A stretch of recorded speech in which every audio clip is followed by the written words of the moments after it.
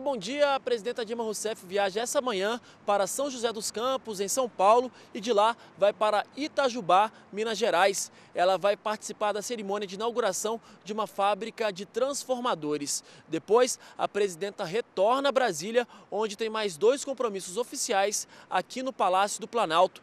Primeiro, ela se encontra com o ministro-chefe da Secretaria-Geral da Presidência da República, Gilberto Carvalho, e depois se reúne com o presidente da Caixa Econômica Federal, Jorge Hereda. E ontem, pela internet, a presidenta Dilma Rousseff anunciou que determinou ao Serviço Federal de Processamento de Dados, o SERPRO, a implantação de um sistema seguro de e-mails em todo o sistema do governo federal. E ainda falando de informática, vão ser anunciados hoje os municípios contemplados pelo programa Cidades Digitais, do Programa de Aceleração do Crescimento, o PAC 2. O objetivo desse programa é modernizar a administração dos municípios e o acesso aos serviços públicos por meio da internet. Leandro Alarcon, direto do Planalto.